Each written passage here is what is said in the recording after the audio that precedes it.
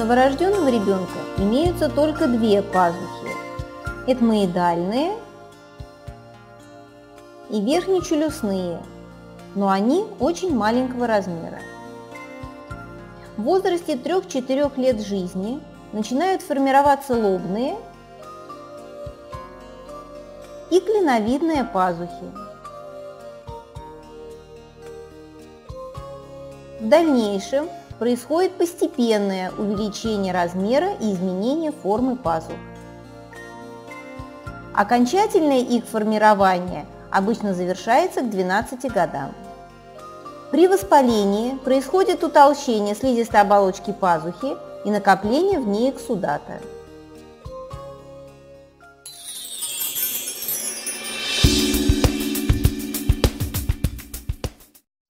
В лор-отделение клиники детских болезней поступил ребенок 14 лет с жалобами на резкое затруднение носового дыхания, головную боль, обильные слизисто-гнойные выделения из носа. При осмотре болезненность при пальпации в проекции верхнечелюстных пазух лихорадит до субфибрильных цифр, умеренные симптомы интоксикации. При передней риноскопии слизистая оболочка полости носа ярко гиперемирована, резко отечна, носовые ходы сужены, содержат густое гнойное отделяемое. При фарингоскопии стекание слизи по задней стенке глотки. Вход в гортань свободный, голосовые и вестибулярные складки не изменены, подскладочное пространство свободно. При отоскопии барабанные перепонки с обеих сторон серого цвета слегка втянуты в центре, опознавательные знаки четкие.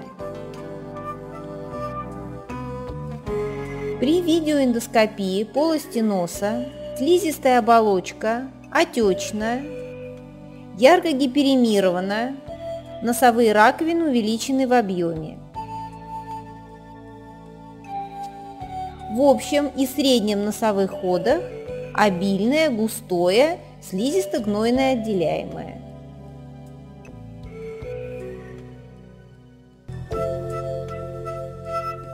Последние годы наряду с рентгеновским исследованием все чаще используют магнитно-резонансную томографию. Исследование в коронарной и аксиальной плоскостях выявило наличие уровня жидкости на фоне утолщения слизистой оболочки левой верхнечелюстной пазухи и средних клеток левого решетчатого лабиринта. На основании клинико-лабораторных данных был поставлен диагноз острый гнойный гайморетмоидит. Было назначено лечение с использованием ингаляционного комплекса с пульсирующей подачей аэрозоля. Вводились антибактериальные препараты, муколитики и сосудосуживающие препараты.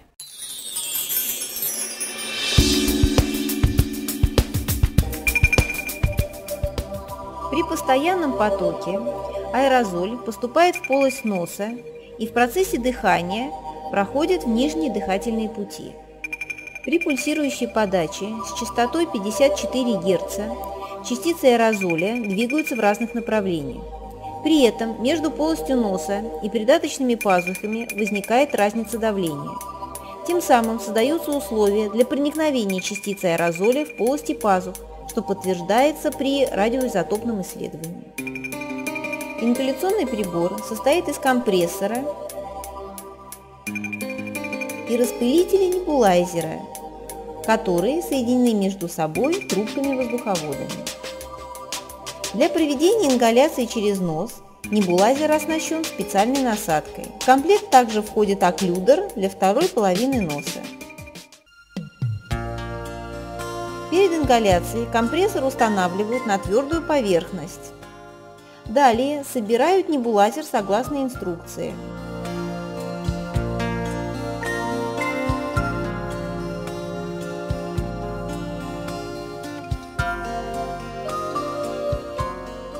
В камеру небулайзера помещают необходимые для конкретного пациента медикаменты.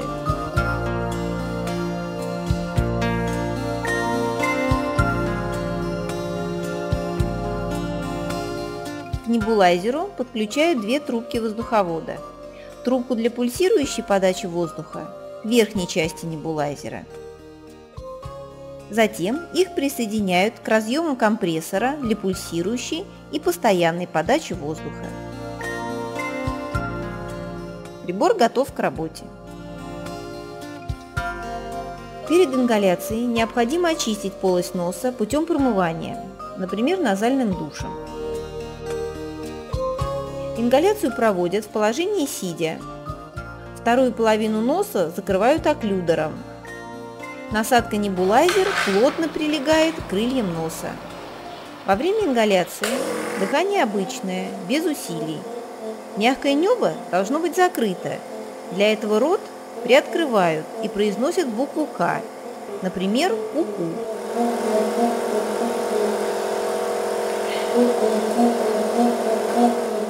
Продолжительность ингаляции от 5 до 12 минут.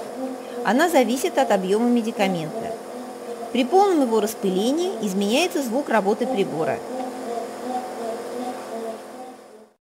На фоне проведенного лечения головная боль исчезла, температура тела нормализовалась. Выделения из носа приобрели водянистый характер, носовое дыхание восстановилось. При контрольной магнитно-резонансной томографии воспалительные изменения со стороны придаточных пазух не выявлены. Ребенок был выписан из клиники в удовлетворительном состоянии. Конструкция прибора позволяет проводить ингаляционную терапию риносинусита у детей разного возраста, начиная с дошкольного. Для лучшего взаимодействия с ребенком используют игровые приемы.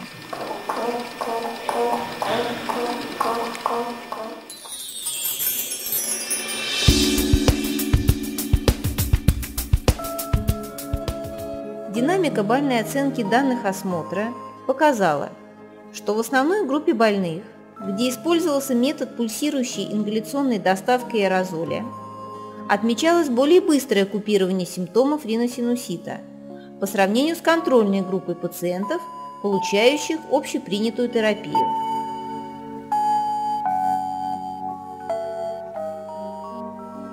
В основной группе больных, получающих местную антибактериальную терапию с помощью метода пульсирующей ингаляционной доставки аэрозоля, более чем в половине случаев удалось воздержаться от назначения системной антибактериальной терапии – тогда как в контрольной группе проведение этой терапии требовалось всем пациентам.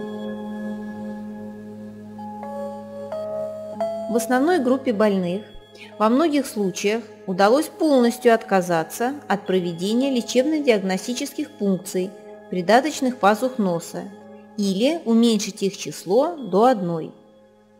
В то же время в контрольной группе у большинства больных была необходимость выполнения двух и более функций за время лечения.